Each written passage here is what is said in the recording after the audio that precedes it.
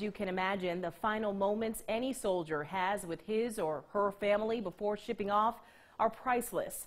And some communities are hosting send-off events. Our Jory Tally is live from one of them in Starkville uh, with more. Uh, Jory?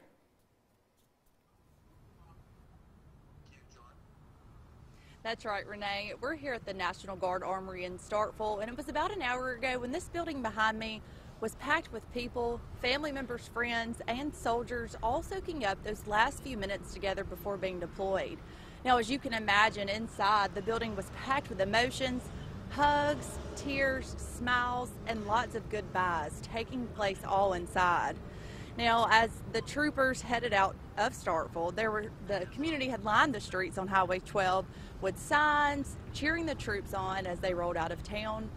They also loaded three different buses. Now, 170 soldiers are being deployed, and they're going to be flying out of Jackson today to Texas to undergo additional training before being deployed overseas.